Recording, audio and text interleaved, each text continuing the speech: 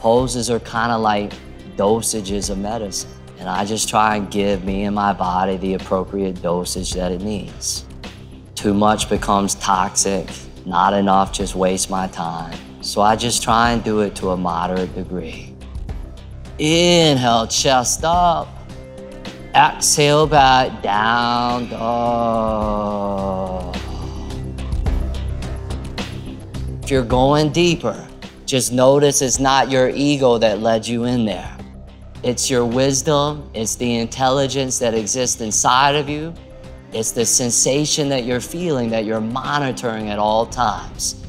Exhale, chest on left leg, arms back. Inhale, number three.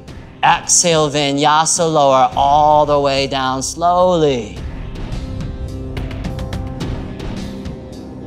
If you can control your breath, then you can control your mind. And if you can control your mind, then you can literally become the master of your own destiny.